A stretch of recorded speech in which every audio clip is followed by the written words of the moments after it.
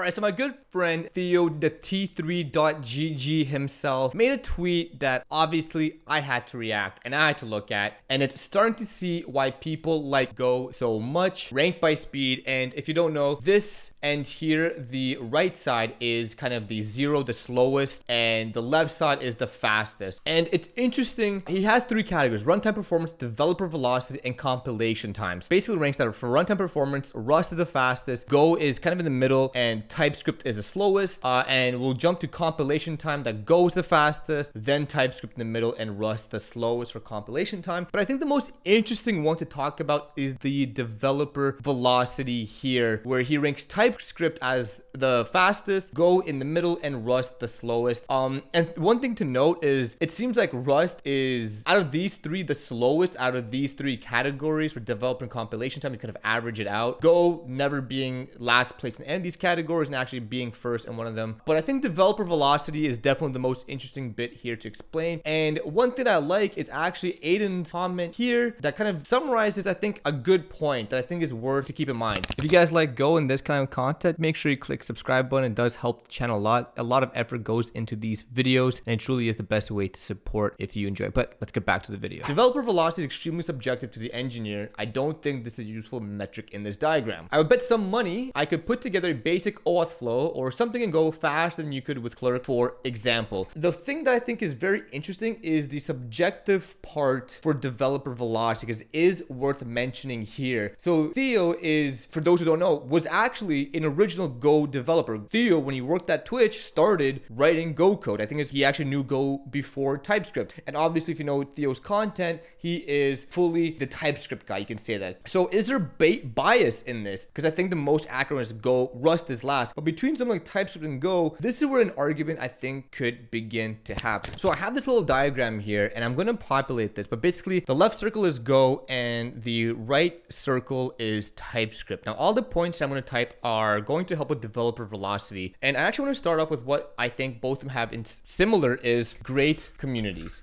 right? And I think this is actually very important because when you get stuck in an issue, when you get stuck in implementation, if you have a big, great community, you'll probably find the answer or a guide or something to do it quicker as opposed to like, you know, Camel. And that just causes you to have to debug, find things out on yourself. Whereas in Go and TypeScript, such a large amount of people are using it. They probably face the issue already facing. Really, the, the core is in developer speed is, I think, the type systems. I think the proper type system, and this is going to be, you know, a contentious point because you can say, well, people can type faster in JavaScript or, or, you know, when you don't have to worry about types, you probably go faster. I do agree to an extent, but I think with a properly typed system, you will actually write more efficient code. And I think in the long run, developer velocity benefits from having systems not panic or fail or crash when you don't have types. I think TypeScript has a more advanced type system where Go probably has what I like to consider everything you really need type system. That's irrelevant here. The fact of the matter is they both have contracts, so functions that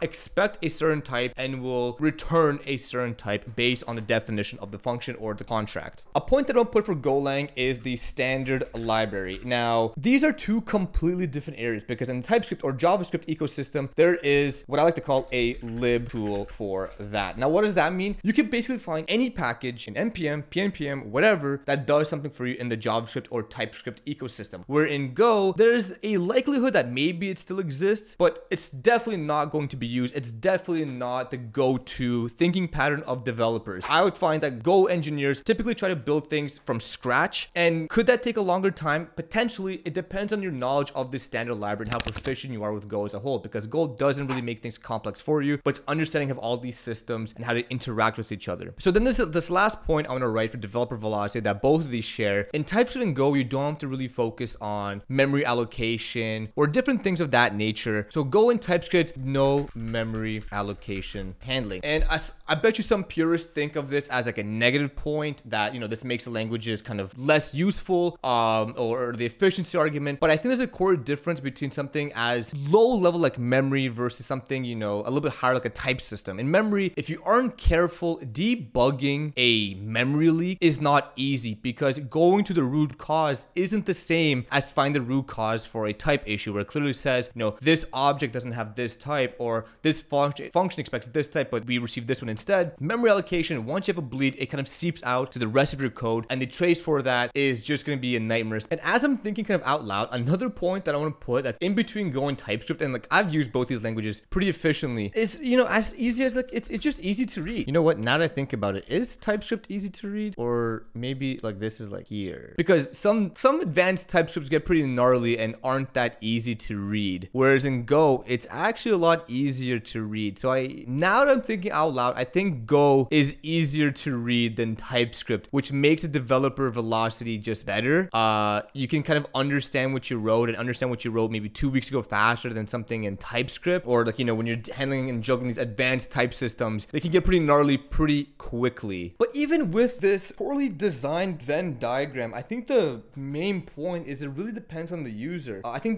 developer velocity is, you know, especially when talking between Go and TypeScript, a person who's been writing TypeScript for the last two years is going to be faster at writing types than they are Go and vice versa. Um, but I think just the core elements that these languages share, or these languages have, I think what that just defines why they're so popular. I think it defines why they're so good and why people choose to use them and why more people are talking about them. We see the Primeagen uh, using more and more Go. We see people like Theo even ranking Go higher in his own ranks and even giving it a better ranking than TypeScript, uh, except for developer velocity. And I think one thing that TypeScript does have all-in-one libraries, right? All-in-one stacks. Like the T3 stack an example, right? Like you can deploy the T3 stack literally with one command and you have a full stack application that is type safe, has auth, uh, has database connections, pretty much has everything you wanted to. And you can't really beat that truthfully, you know, if you want, you can extract elements from that stack into your own code base. Uh, but recreating everything is going to be tough. And I think that's something that TypeScript and the TypeScript ecosystem has over the Go ecosystem is that there are these heavy communities that build things that are just hard to argue. And that does help with the developer velocity because if everyone takes care of the rest of the shit, the rest of the boilerplate, I mean, it's going to make you faster what you actually want to work on. And I truly believe that your velocity developer is backed by how passionate you want to implement that feature or the thing you want to build. If you have to build something like the auth for your stack or your app and you just absolutely hate it and you resent the fact you have to do it, but you kind of drag your feet, you're gonna be taking much longer than, you know, if you're excited about implementing the database connection layer of this system, you're just gunning for it, you don't care how much time you're putting in because you're genuinely having fun. I think these are key things to keep in mind when talking about the developer velocity in these languages. But with all that being said, let me know what you guys think about this video. Do you agree? Do you like the points I made about developer velocity in Go and TypeScript? Do you like Theo's tweet there. I'll, I left a link in the description below. Make sure you give him a follow and tell him Melkey sent you. But let me know what you guys think of this video. As always, make sure you comment, like, and subscribe for more of this content. But as always,